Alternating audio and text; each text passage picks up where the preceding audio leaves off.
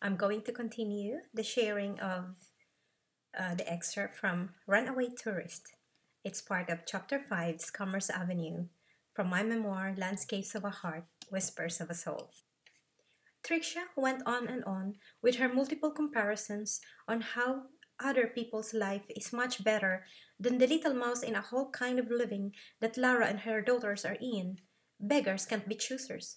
But this stray-away compatriot of hers has a big mouth and a gnashing envy of comparing eye of what others have, unaware that she was putting down even more the simpler but sufficient life of Lara and her kids. Lara thought prior sleeping that night, the earlier she finds a place for Tricia to work away from the Ticino or the Canton Tessin, the better it is. After Christmas lunch, Lara could not trust Tricia to remain alone in the apartment, so she asked her to come with her in bringing Genevieve and Athena to walking towards the house of the Tyrannos family, where her daughters will be spending the rest of the Christmas day until the 26th of December. In boca al lupo, tapate le orecchie, mommy. Good luck and cover your ears, mommy.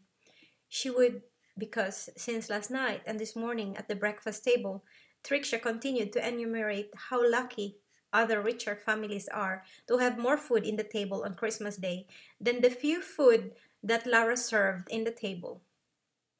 What healthy food which Lara prepared and served on the table was not good enough for Tricia's ambitious palate. At exactly one o'clock in the afternoon, Tricia and Lara were aboard in the intercity train. When the train marched, Lara still received four other phone calls from Leticia, Leticia's husband, Lillian, who is the Filipino organizer in Bellinzona, and Jean, the beautiful former model in Gentilino area. All of them with at least one common denominator. If you see Tricia, please tell her to go back to Sorengo. Tricia, these are calls, so all searching for you. We have one more stop before taking the bus to Chur, in case you change your mind and you prefer to go back to your uncle and Leticia's. No way! I'd like to remain here. I'll explain to them later. The faster the train marches, the sooner they are aboard the Yellow Post autobus from Bellinzona to Chur. The more relaxed Lara would be, for at least a thorn will be off her shoulder. They arrived around past nine o'clock in the evening at Chur, and Gina fetched them from the station. Tricia asked, That's the city? Gina replied, Yes, we're leaving the city. Tricia said, You don't live in a city? Gina responded proudly, No, I live up in the mountains, half an hour drive from Chur, and we live near Davos. Tricia murmured at Lara, What am I going to do up in the mountains? What do they speak up there? It can be boring, you know. Lara rep- replied in a normal voice. She doesn't want to hurt Gina's feelings, nor how disrespectful it is to talk in murmurs when the one driving them is their host, who will be helping Tricia. Tricia, wait till you see the view during the day. The village where you'll be staying is very beautiful. It will remind you of the sound of music, Tricia. I'm too young for a film like The Sound of Music. That's for oldies, Tricia replied. Lara and Gina replied simultaneously. Oh, I see. Once Tricia settled down on the first floor bedroom, Lara talked for a while with Gina. Lara, I noticed she seemed like forced to stay in the mountains. Does she know she does not have any choice but hide farther from Lugano and Canton Tessin or she will get caught? Bad image and bad record too for Tricia's inviting family. I hope so, Gina. I explained to her many things, but it seems like she wants to be catered the way she expects life to be. Well, if she will remain to work for my winter ski inn, she better do what is asked of her if not, I don't like any uh, another palamunin or another parasite in my home. I understand, Gina. Thank you so much for having accommodated my request and help her. I have the means, and I know I can trust you, Lara. Bless you for being so helpful. How much did you spend on the travel to, to come here? Around 380 francs for both of us. I only wish to help her. Lara, remember and be warned. We don't know the re- real whole story about her, so be careful too. Thanks a lot, Gina. That night, when they were about to sleep, Lara opened her portable Vaio laptop and watched the Lake House film. Supposedly, she should watch it with her daughters, but now she ended up watching it alone while she heard Tricia sobbing and talking in Tagalog in her cell phone. Lara didn't want to eavesdrop, so she put on her earplugs. Tricia tapped her shoulders. Sorry to disturb you, but my older sister in Japan wants to talk with you. Hello? Are you the one helping my sister? Yes. Will she find a job? Yes, she's safe here with my mother's relatives in Chur. That's good because if not, I told her she should go back to uncle in Sorengo. That's what I also told her. I hope you can be patient with Tricia. Thank you. Merry Christmas. You're welcome. It's my pleasure to be of help. Yes, and I hope she'll be all right. Yes, she will. After Tricia disconnected, she said to Lara, How can you be so reassuring that I'll be all right? What is it all right here? I'm in the mountain. And they speak an ugly language. I'm far from the city. Lara looked at Tricia, containing her anger. Amidst all the whining, Lara needs some good night rest and sleep after six hours travel by train and bus combination. A fresh start in the morning would do well and ask Tricia what she truly wanted.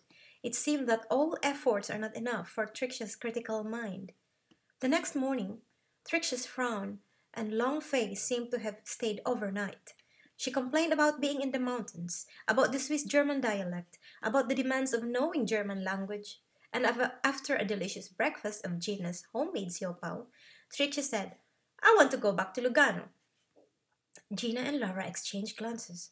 It was around past seven in the morning, and Lara's appointment in Zurich is at three o'clock in the afternoon.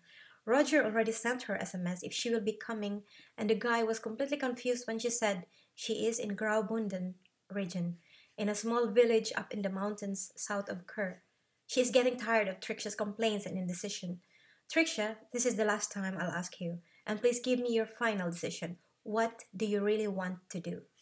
I want to go back to Lugano. I don't like it here. Okay, excuse me. I have to see the post autobus schedule and train to Zurich. You see, I have an appointment today in Zurich, so you can come and join me, and later we hop on the evening train from Zurich to Lugano. Oh, yes, yes, I will see Zurich. Tricia exclaimed like a spoiled child. I won't be walking around in Zurich, Tricia. I have to meet someone. Is it a man or a, ma- a woman? Does it matter? Lara studied Tricia's new curiosity. Of course, because if it's a man, then it's a date. Well, we'll see, Tricia. When we are in Zurich, I need to talk to this person for at least an hour or so. Gina was smiling by the corridor, hidden from Tricia's sight, as she waved at her to come closer. Lara left Tricia in the kitchen and went to Gina and talked also to her husband, we're sorry for this brief visit and disturbance. Thank you for having welcomed us to sleep here last night, but I need to come to accompany her back to Lugano now via Zurich. Tell me, Lara, what is this trip all about? How do you know that young lady? Honey, it's none of our business, Gina interrupted her husband. It's a pity to visit for just one night and not at least experience to ski up in Davos. Can't you reschedule your trip for another day? Have some fun in the snow, come home, come here again with Athena and Genevieve. And how come the girls were not with you last night? Honey, drop it.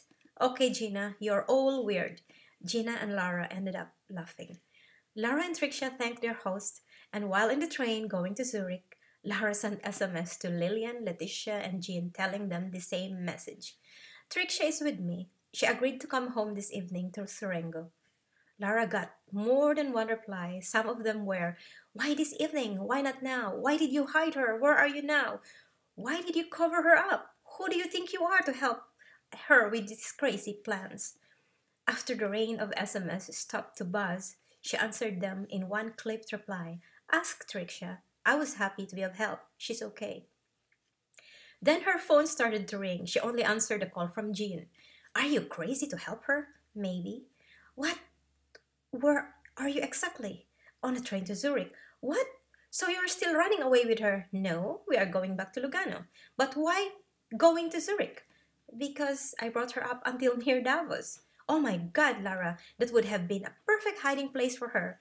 Yeah, but she hates to be in the mountains. After a night at the beautiful chalet of my close friend, she never stopped complaining because she misses the city. So here we go, Jean, accompanying her back to Lugano. how silly it was of her to jump on the first train to help Trixia. She thought, You see, I forgot to ask if she was a city or a mountain person. Who was on the phone? It's Jean. You told her where we are? Of course. Shouldn't have done it. Why, Trixia? You're no longer in hiding, so I can tell them where we are. It's better to be honest. Is my uncle still calling you? No, it's Letitia. But I won't answer her call. It's expensive to talk on the cell phone. Besides, by now your whereabouts will be spread like a radio. Lara smiled. Jean was known to be a whistleblower of hot gossips. Once and for all, this chip of thorn will be off her shoulder. She looked briefly at Trixia, focused to admire the Swiss countryside. She thought of the 380 plus Swiss francs train and bus costs. It was like a money thrown away for one night, just simply helping out a desperate lady, lady whom in the end she discovered that Trixia was behaving with multifaceted character, which crumbled down as Lara observed her through all these hours during the trip from Chur to Lugano. When they were in Zurich Hauptbahnhof, Lara spotted immediately the tall, handsome Kurt Russell features of Roger. Trixia murmured to her, He's so handsome. You didn't tell me that he's super guapo. Lara looked, shook her head, and nodded to Roger. I'm sorry, we arrived in two. Can we drink a cup of coffee so we can talk? I hope this, this is not the first and last time I'll see you. Lara felt that Roger likes her a lot in an instant.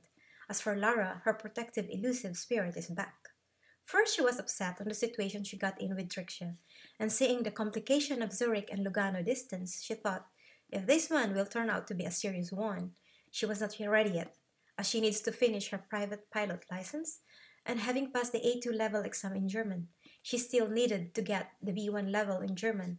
She needs concentration, not diversion nor distraction.